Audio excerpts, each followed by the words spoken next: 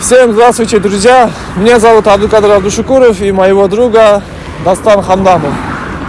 Вы, многие из вас уже знают, что мы путешественники, и завтра мы планируем поехать в Бишкек с помощью автостопа.